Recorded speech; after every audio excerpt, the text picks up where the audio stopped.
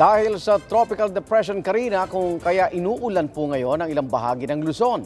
Nakataas na ang signal number 1 ng pag-asa sa Batanes, Babuyan Group of Islands at northeastern portion ng Cagayan Province. Huling namataan ang sentro nito 170 kilometers east ng Kalayan, Cagayan. Tagalin itong lakas ng hangin aabot sa 45 kilometers per hour, malapit sa gitna. Malayong maglandfall ang bagyong Karina sa mainland Luzon pero nananatilang posibilidad na dumaan ang sentro nito sa Batanes.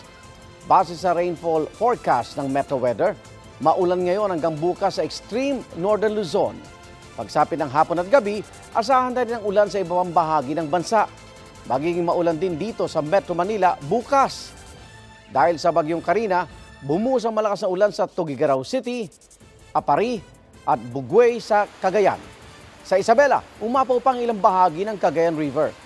Tumaas din ang level sa Padsan River sa Lawag, Ilocos Norte